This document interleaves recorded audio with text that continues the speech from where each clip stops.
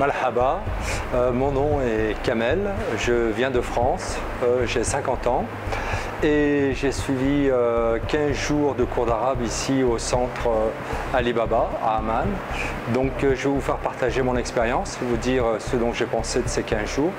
Donc j'ai suivi une session de deux semaines, deux fois 20 heures de cours d'arabe. J'ai été classé parmi les débutants.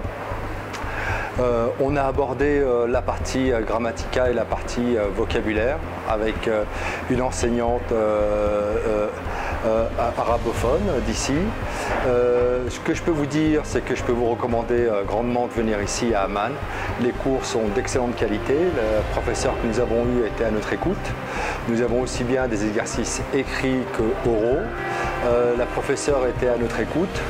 Euh, je ne suis pas anglophone, j'ai quelques connaissances euh, euh, basiques en anglais. À aucun moment j'ai senti une difficulté. il est nécessaire de connaître quelques mots d'anglais, mais, pas plus que ça.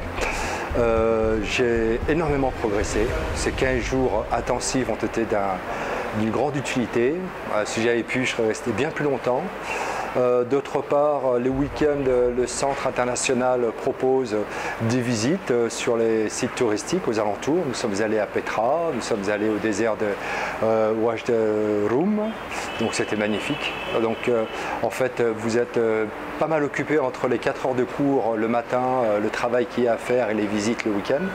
Donc ce que je peux vous dire, c'est que c'est une expérience euh, inoubliable. J'espère qu'elle ne s'arrêtera pas ici. Hein. J'ai bien l'intention de revenir. Et, voilà, donc je vous, recommande grandement que vous soyez euh, euh, français euh, d'origine avec aucune connaissance en arabe ou des arabophones débutants ou expérimentés, vous trouverez votre place ici. Et, voilà, donc je vous recommande grandement ce centre. Hein. les, professeurs sont à l'écoute, l'équipe est très professionnelle et vous ne serez pas déçus. Voilà. Malhaba.